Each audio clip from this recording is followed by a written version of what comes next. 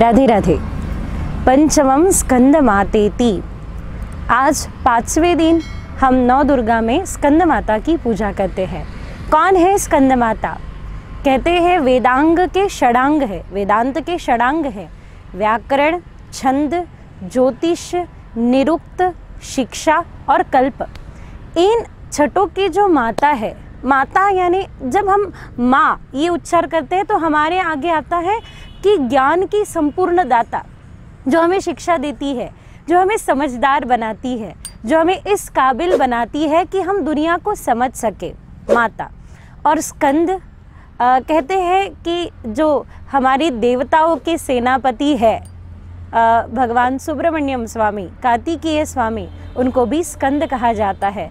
तो कितना सुंदर ये मिलन है देखो माँ रूपी संपूर्ण ज्ञान और स्कंद रूपी शौर्य। जब ज्ञान और शौर्य एकत्र आता है, एकत्रित होकर जो परम ज्ञान मिलता है, वही है माता स्कंद माता। तो आज के दिन शौर्य के साथ साथ ज्ञान और संपूर्ण ज्ञान के साथ साथ समझदारी के साथ साथ खुद के भीतर शौर्य की भी उपासना करें। इसलिए आज के दिन शौर्य और ज्ञान को समर्पित करते हुए माता स्कंद माता की पूजा करें। राधे राधे